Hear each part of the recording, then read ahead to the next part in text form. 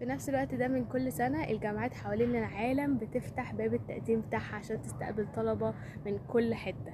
وأنا في نفس الوقت ده بالظبط السنة اللي فاتت كان عندي حلم إن أنا نفسي أدرس برا. والحمد لله النهاردة أنا أهو at the U of A و I'm doing pre-med. فأنا مبسوطة جدا بس البروسس خدت مني وقت طويل وعشان ما كانش عندي أي خلفية عن إزاي أقدم اتسألت ناس كتير و I did my own research. بس في مشكلة واحدة في الموضوع ده إن الموضوع very time consuming واحيانا أي معلومة غلط ممكن تحبطك وممكن تضيع لك وقت كتير. وعشان كده عشان كل حد في نفس المكان اللي أنا كنت فيه من سنة فاتت حبيت أعمل a real talk with مريم.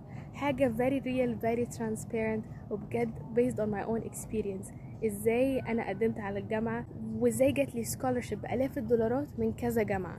وعشان أنا عارفة ومتأكدة إن في طلبة كتير قوي نفسهم إن هم يدرسوا بره وكل وفي كل واحد فيكم عنده حلم قررت إن أنا أ make this process easier ليكم وأشير معاكم ال experience بتاعتي.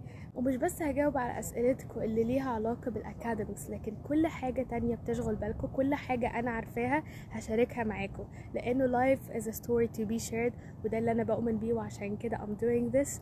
ويا رب بجد تكون حاجة مفيدة ليكم فاستنوني next Saturday with a real talk with و I will answer all your questions about the application process high school university traveling كل حاجة كل سؤال يجي في بالكم أنا هجاوبكم عليه. استنوني السبت الجاي real talk with مريم وأنا هستناكم ف please اوعوا تتأخروا عليا. bye bye